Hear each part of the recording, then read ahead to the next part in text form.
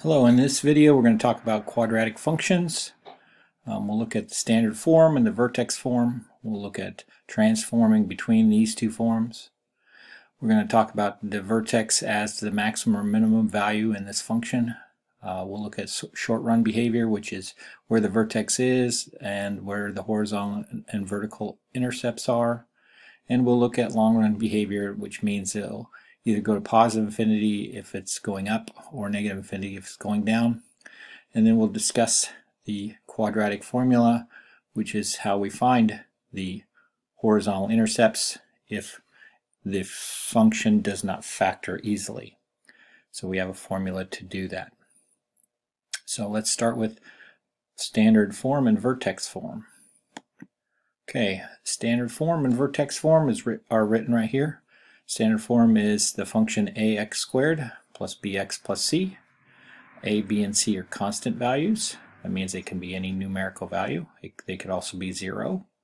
Um, if a has to not be zero, because if a is zero, then it's a linear function, not a quadratic formula.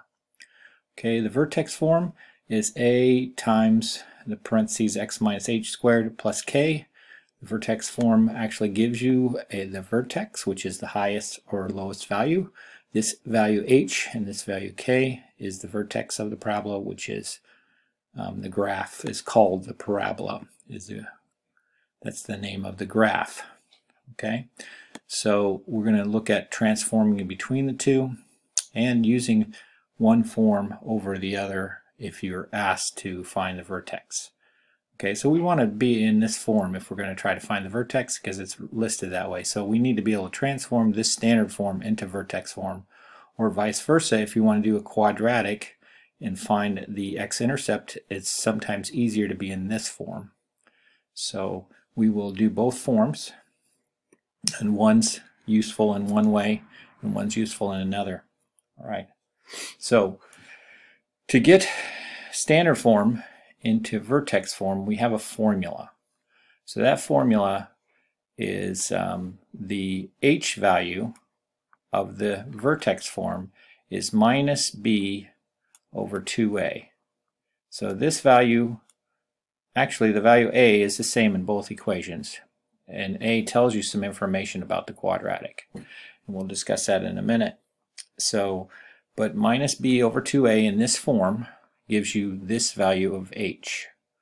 Now the k value is when we plug in this minus b over 2 into the function of f of x. So if we evaluate this function or this value that we find for h, that will give us this k value here.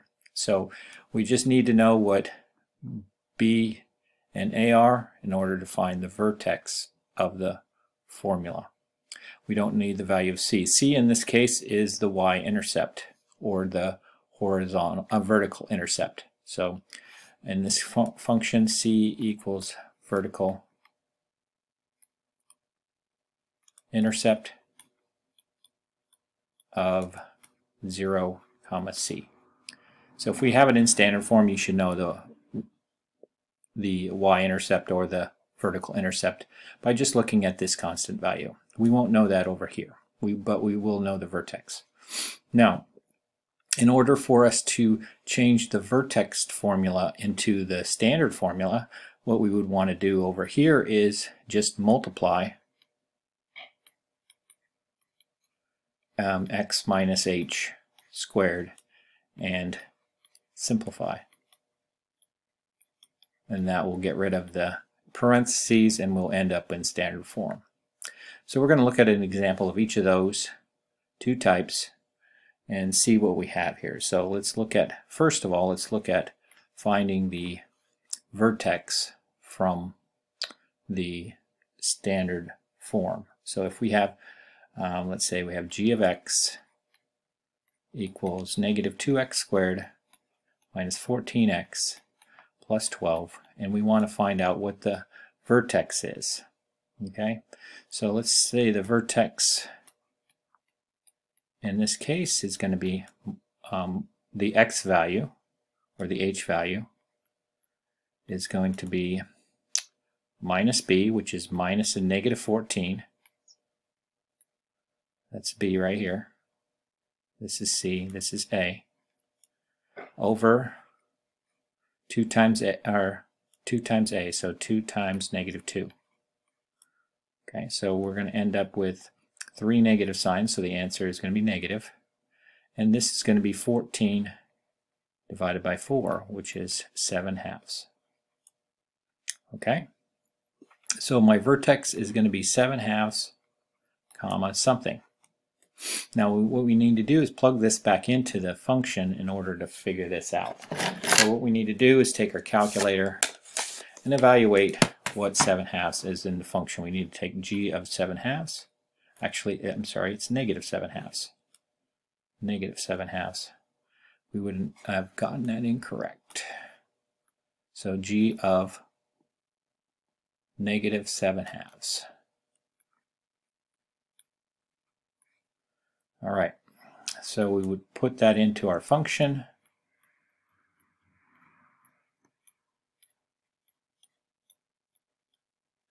And we would evaluate.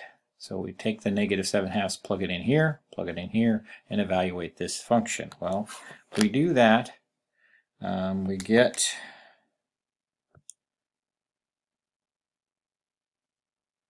um, uh, let's see, I'm going to evaluate this in the function, putting in my calculator, 7 halves squared minus plus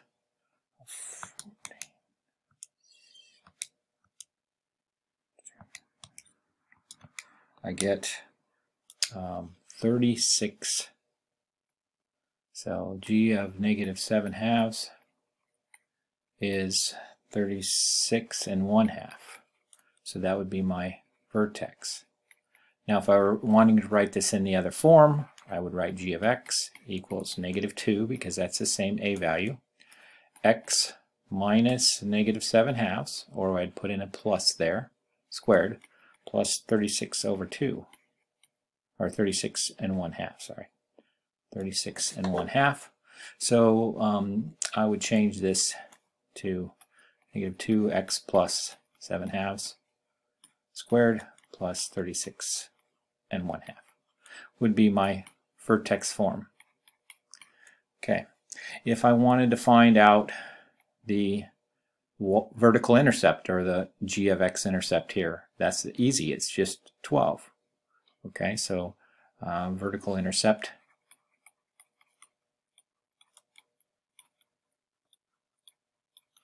equals 0, 12, because that's the c value. Now in order to find the the x or the horizontal intercepts I would need to either factor this or use the quadratic formula. Let's see if it factors. Hopefully this one will factor and I won't have to use the quadratic formula since I haven't shown you how to do it. So I got negative 2x squared minus 14x plus 12 and we want that to equal 0 because that's our will be our horizontal intercepts. I would factor out a negative 2 plus 7x minus 6 equals 0.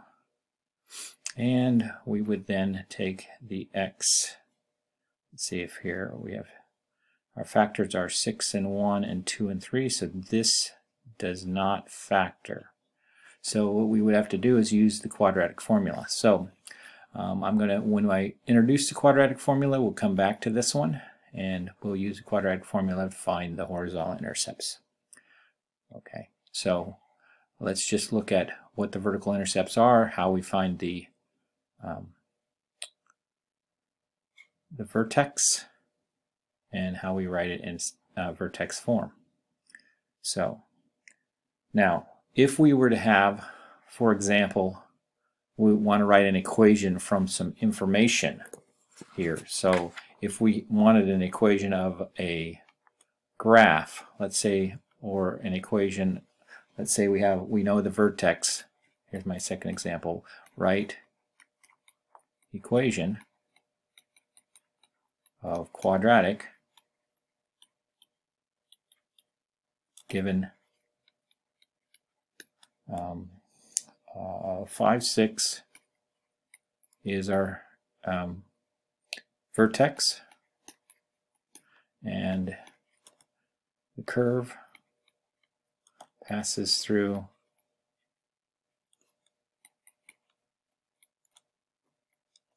um, 3, negative 2. Okay, so let's look at this and see how we would do that. Well, we would be able to write most of the equation in vertex form um, by, by knowing the vertex. So we would know, if we were writing f of x here as our function, we would know in vertex form, we would know these two values. That's 5 and 6. So we would have most of the function already. x is 5, k is 6. So we would have this as our function. The only value we wouldn't have is how wide the function goes and which direction it goes by knowing what a is. So what we would need to do is take this point that we know it passes through and figure out what a is. So in this case, we know a y value and an x value that happens. We know an f of x value here. That's negative 2. It's given to us in this point. We know an x value for that, which is 3 for that point. So we can figure out what a is by evaluating this equation and figure out what a is. And then we'd have our equation of our curve, our quadratic. So in this case, um, this is negative 2 squared is 4, so this would be 4a plus 6 equals negative 2. We'd subtract 6, so we get negative 8 equals 4a, and a is negative 2. So our function here would be um, negative 2 parentheses x minus 5 squared plus 6.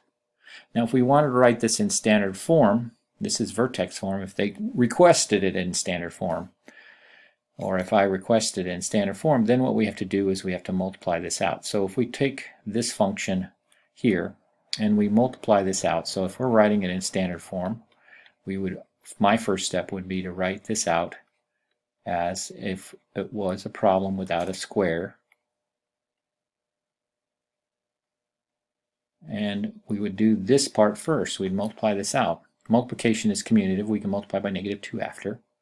So I would take this and we'd do this FOIL on this part because this means we have two x minus 5s. So I would multiply that out and I would get x squared Outside is negative 5x, inside is negative 5x, so we get negative 10x for the outside inside. And then we'd have a negative 5 times negative 5, which is 25. And then we have this plus 6. Okay, and then we multiply by negative 2, and we get negative 2x squared plus uh, 20x minus 50 plus 6. So my equation in standard form would be negative 2x squared plus 20x minus 44. So this would be my equation in standard form, and this is the same equation in vertex form. So 1 gives me the vertex right off the bat. This one will allow me to solve with the quadratic formula and find the horizontal intercepts easier than this one would. And we'll get to that in a future of this um, video. Okay, let's move on. So we've done these two things. We transformed between the two forms and we've written it in both forms and I've given you some information about the forms. All right. Now the vertex is the maximum minimum value. That means in a graph, these all, so the graph of a quadratic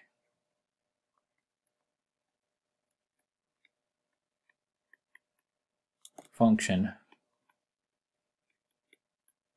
is a parabola.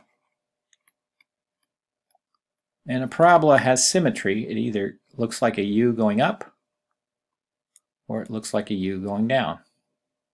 Now this depends on the A value in your formula. So if A is greater than 0, that means it's positive, it's going to look like this. And if A is less than 0, negative, then it's going to look like this. So if we have an A that's negative, then it's going to have a maximum value.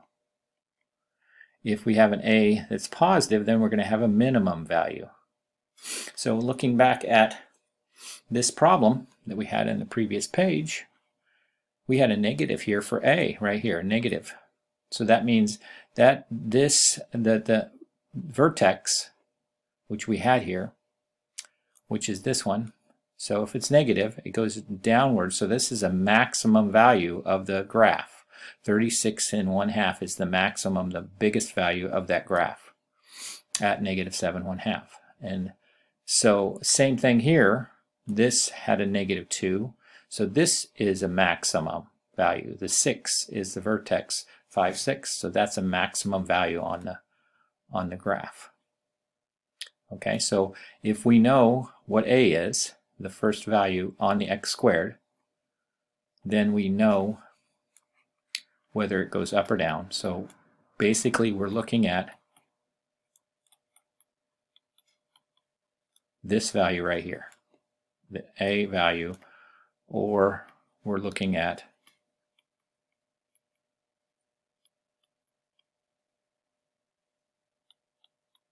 this a value right here. So one of those will tell us whether it goes up or down. Now we know we went over finding the vertical and horizontal intercepts already. Um, we now know that if we have an a value that's positive, then we're going to go to positive infinity on both sides on long run behavior. Okay, so if we know, for example, um, we have a function f of x equals um, 3x squared minus 2x plus 5, then we're going to know that the long run behavior on this is that this is going to go up like this because of the 3 here. It's positive. So that means as x goes to infinity, f of x goes to infinity. That's this side over here. Okay, as x goes to negative infinity, f of x is also going to go to infinity because it goes up on both sides. On this side over here it goes up as well. So if we have a 3 there, we know what the function is doing as it goes on right and left. If we had a, a function that had a negative value, 16x squared minus 2x plus 1, so if we had this value, this is negative 16. So that's going to tell us the long run behavior is going to go down. It's going to go like this. So that means as x goes to infinity, that's this side, we're going to have f of x, or the y value is going to go to negative infinity. And the same thing happens on the other side.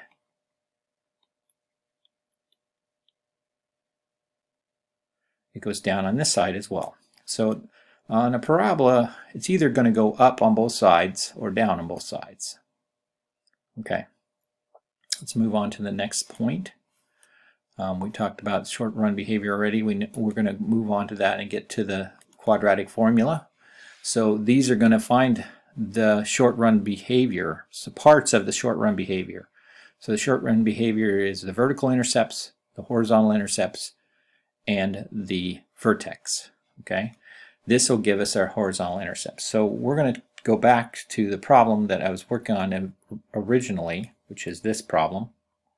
We're going to look at this problem in terms of um, the quadratic formula. So we have negative 2x squared minus 14x plus 12. So g of x equals negative 2x squared minus 14x plus 12. So that was our function. And we're going to find our horizontal intercepts. Those are from the quadratic formula. Okay? And then we're going to do an example down here that I already have. So let's move my example down so that I can do the quadratic formula on this part. Okay, so up here we have a, a an equation. We're going to use that. We're going to find our horizontal or x-intercepts on this equation. All right, so here's the thing. We're going to do minus b, then we have plus or minus. So that gives us our two answers. Um, b squared minus 4ac is under the square root. That means we need to multiply here and then subtract, or we square first. Multiply square, then we subtract those two numbers, and then we take the square root of that whole answer. Now if this is negative, we don't have any horizontal intercepts. that means the function is either above or below the x-axis and going in the opposite direction. So we may not cross the x-axis or have any horizontal intercepts if this is negative. Otherwise, we're going to have 2. Or if this is 0, then we're just going to, the, the graph's going to come down and just touch it once. So you have, you have three opportunities here. You have three different choices on this quadratic formula. We can have the graph be up here and not have any. That's when this part is not defined. We can have it touch, just barely touches and goes once. That's when this is zero and then we have plus or minus zero so we only get one answer. And then we can have it where it crosses twice. That means that, that this is a comes out to be a whole number here or a number that we can take the square root of, a positive number, and then it'll cross twice. So there's three different options on this. So let's look at what this one does. Maybe it crosses, maybe it doesn't. So we have the a, b, and c values. We're going to plug it into the function. This is a, this is b, this is c. Okay, so we're going to take our x thing here. We're going to go minus a negative 14. That's b, plus or minus the square root of negative 14 squared minus 4 times a, negative 2, times c, which is 12, all over 2a. So that's 2 times negative 2. Now, um, looking at this, this is going to be a positive number because you're squaring it, and this is going to be a positive number because that's two negatives, so that's going to be, so this is going to have two answers because we're going to have two positive answers added together here. So we will get two answers on this one. So let's work this out. That's positive 14. Okay, and then we have 14 squared, which is 196. And this is going to be plus. We're going to have 8 times 12, which is 96. 8 times 12. Okay, and then we're going to have negative 4 on the bottom. Okay, so we're going to take this um, 196 and add 96 and get 292. 292 over negative 4 Okay, and then we're going to take the square root of 292, which is not a nice number. So if we were going to do approximations, if I'm going to switch this to an approximate answer, then it's going to be 14 plus or minus, uh, 17.088 over negative 4. If I were going to leave it as an exact answer, I would need to factor 292 and see if we have any perfect squares in there. Um, so 292 divides by um, 4. So 14 plus or minus 4, or square root of 4 times 73. Um,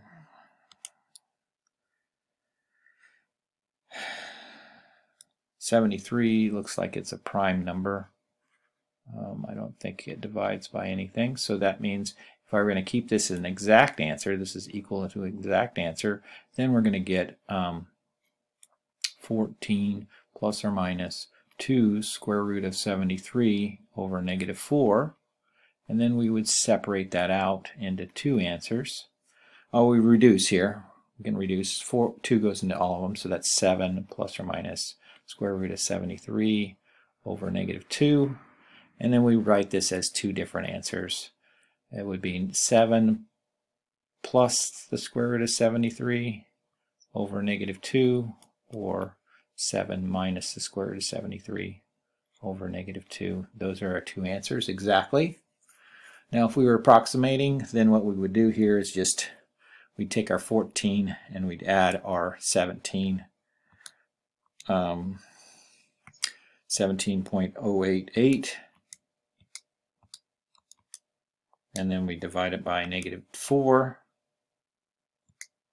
and get uh, approximately 7.7 um, 7 I'm sorry negative 7.77 or we take our 14 minus 17.088 and then we divide that by negative 4 and we get or um, we get an x value of 0.77 okay so that means our ordered pairs here would be negative 7.77 comma 0 and 0.77 comma 0 that's rounding to two decimal places that's where it would cross. Now these are the exact values for the x if we didn't want that to happen if we wanted exact values. All right. Okay, now we're going to apply this to some problems here. So we're going to break that up into uh, some problems here. Let's start with this one. This is part came out of your book. Um, this was number um, 28 in your textbook in this section. It says a ball is thrown in the air. Its height is this quadratic function. It wants you to answer three questions here what height was ball thrown. Okay, that's when t equals 0. Now, how high is it? This is the vertex. And when does it hit the ground? That's going to be an x-intercept or a vertical intercept. Okay, so we'd have basically, we have three different things that we have to do here. Okay. All right, so let's look at the first thing, t is 0, height when it was thrown. That's basically the, that's actually the horizontal intercept.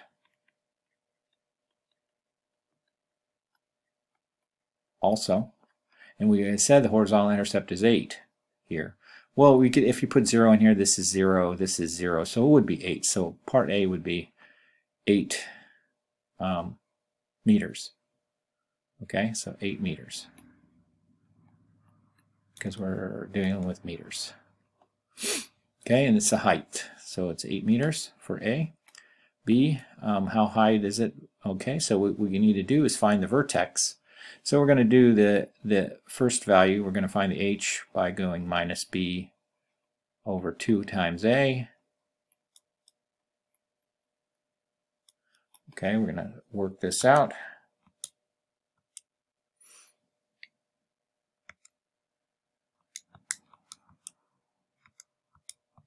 That would be approximately, it doesn't come out nicely, approximately,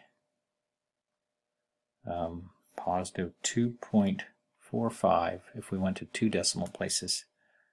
Okay, if we went 3, let's go 3 because that's standard in the book. 2.449. Okay, and then that's the um, time. This is the time um, that's in seconds, uh, when the ball reaches the highest peak. Okay, how high is it above that? We need to put that value into the function, h of 2.449 into the function.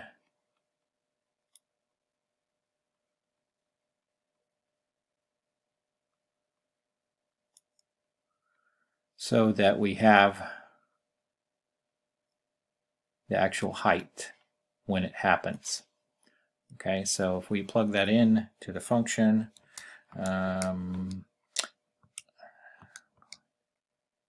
449 squared plus 24 times I get 37, approximately 37.39 feet or meters. So that's two decimal places. Since we have rounded to three already, then we'd have to round down one more each time we do this because it will incur some error. Now it's the so that's how high it's going to be above the ground at its peak. It took 2.449 seconds. That gives us our h value. That's at the t value in this case. And if we want the height, the the h of t value. Then we plug that h of t in there and figure out what it is.